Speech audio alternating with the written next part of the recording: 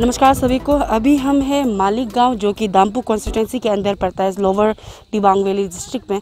और जैसे आप देख सकते हैं, अभी हम खड़े हैं फार्म में, जो यहाँ के जो लोकल एमएलए गुम ताइंग के द्वारा यहाँ के जो सेल्फ हेल्प ग्रुप महिलाएँ हैं, उन्हें डोनेट किया गया है free of cost cluster farming के लिए।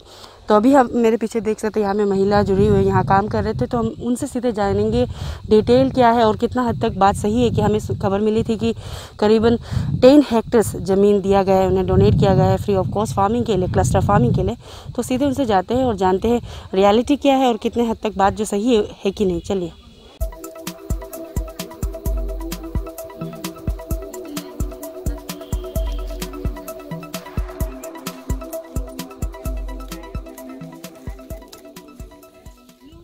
सबसे पहले मैम आपका नाम बताइए और कहाँ से है आप लोग ना वो बताइए।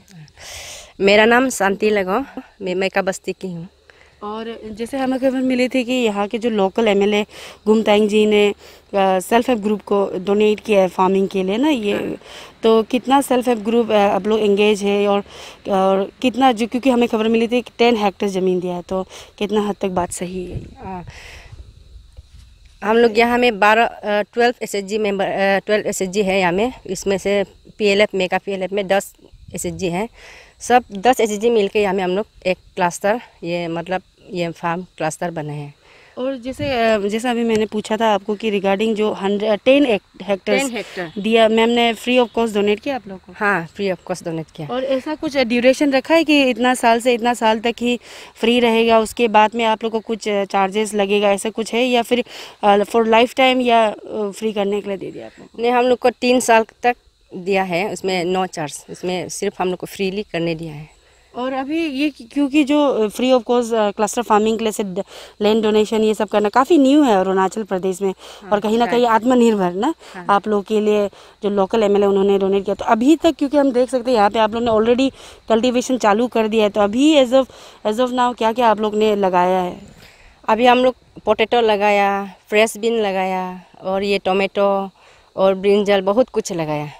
और ये जानना चाहूँगी क्योंकि जैसे आपने कहा कि बारह सेल्फ हेल्प ग्रुप ना आप लोग एंगेज हाँ। हो तो उसमें हाँ।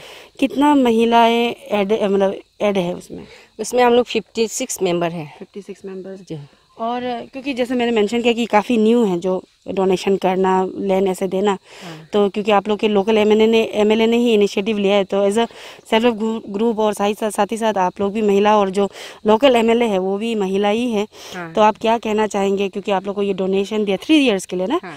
तो उन्हें क्या कहना चाहेंगे आप लोग हम सब उन्हें बहुत थैंक यू कहना चाहेंगे क्योंकि वो एमएलए मैडम जो हम लोग को सिर्फ़ यही नहीं बहुत कुछ में हम लोग को मदद किया है और इसमें तो बहुत बड़ा मदद किया हम लोग अन्य लोग को अन्य पार्टी लोग को इसलिए हम सब अन्य उनका बहुत शुक्रिया गुजार है जी thank you so much Thank you.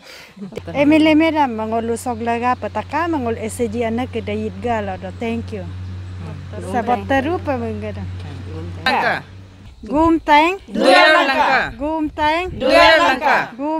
Gum langka.